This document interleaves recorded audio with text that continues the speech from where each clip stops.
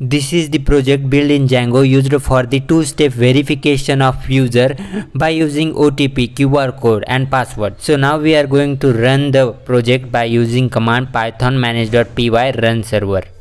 Now our Django server has started. Let me show you our project so this is our sign in interface of our project but we don't have a account on this application. So first of all we need to create an account. So click on sign up. So now we need to enter here uh, details. Okay. So firstly we need to enter here username. After that first name last name email password and password again. Okay.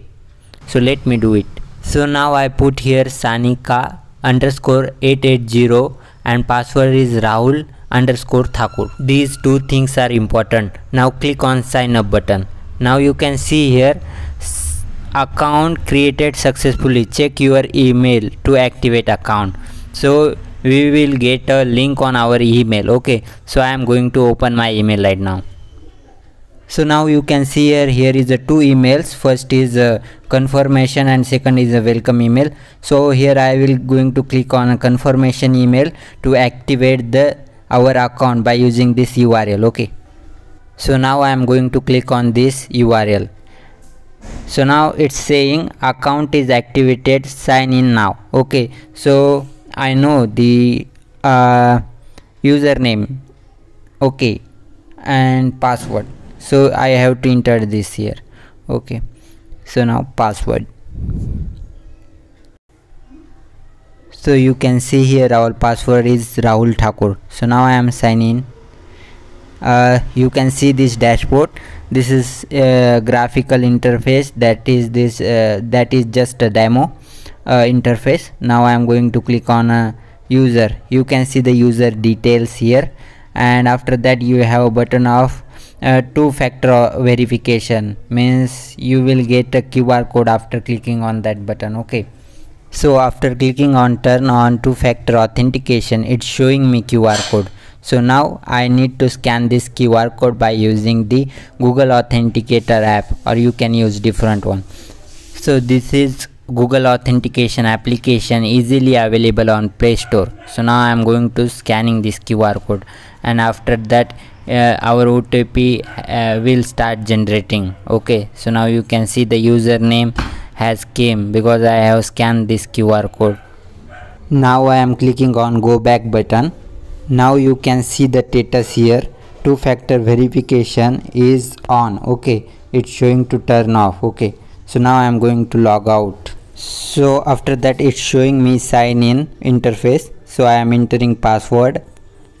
Okay you can see here our password Rahul Thakur and clicking on sign in. Now it's asking me to uh, use the OTP of authenticator app that is continuously generated by authenticator app. Okay so I am going to enter the OTP generated by authenticator app.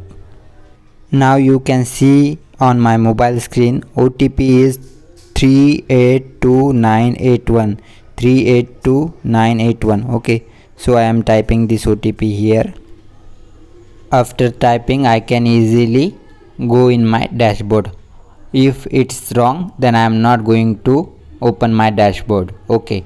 So it's called as a two-factor authentication so let me show you another one functionality here that is do you forget password? Okay if you forget your password then enter your registered email id over here. Okay after that you will get a, reset password link. Okay so i am typing here my registered email id and after that i will get a link on my email. Okay to reset this password. Okay so it's saying email received. Okay uh, you can see here the password link email received. Okay.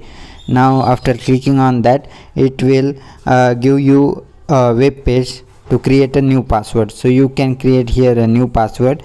I will type here new password is uh, rohit um, underscore thakur. Rohit thakur. Confirm that password again.